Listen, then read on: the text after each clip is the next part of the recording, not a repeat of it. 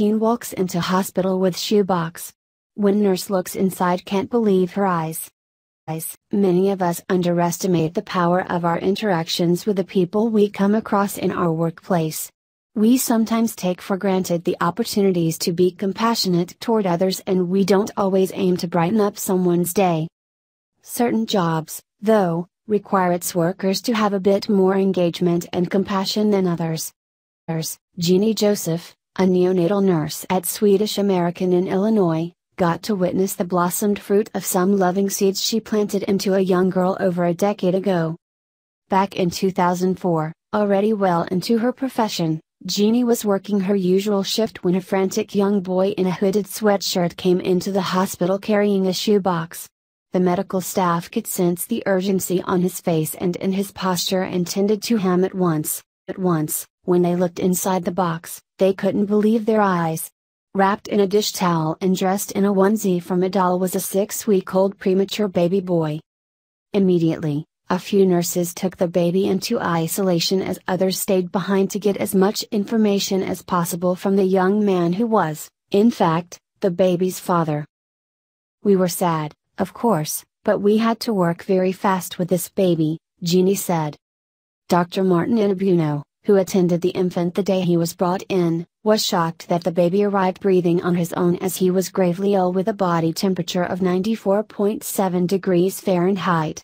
The baby boy had to be treated for hypothermia, dehydration, and an infection which had been caused by his mother cutting the umbilical cord with a pair of house scissors.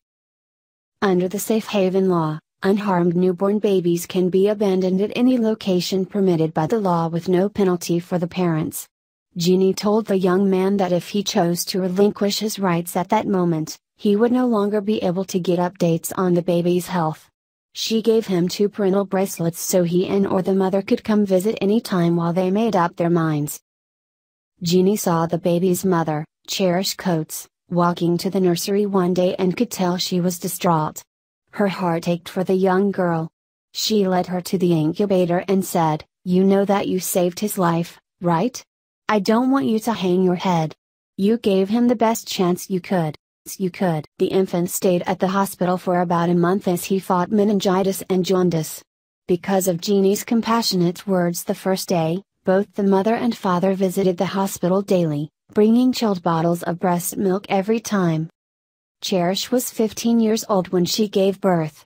She had been hiding her pregnancy from her mother and grandparents, afraid they would be disappointed in her, her. Cherish's mother had gotten pregnant at 15 and had to drop out of school because of it, and she knew that her family would not want the same situation to play out in her own life.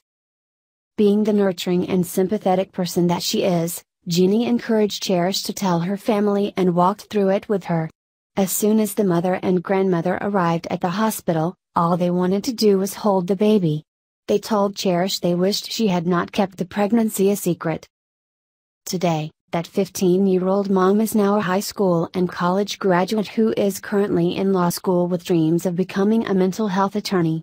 Not only that, her prematurely born son is now a 12 year old soccer player, cross country runner, and member of the Navy Sea Cadet program. One year after he was born, Cherish went back to thank Jeannie and the other nurses for all of their help. Now, 12 years and three kids later, she can't hold back her continuous gratitude. It just makes me think, wow, every interaction you have with anybody is so important. To be able to be in this position where I'm a part of someone's story, that's such an honor, Jeannie said. It is amazing to see what investing your heart into your job can lead to. I am beyond inspired, and super joyous to see how far this family has come.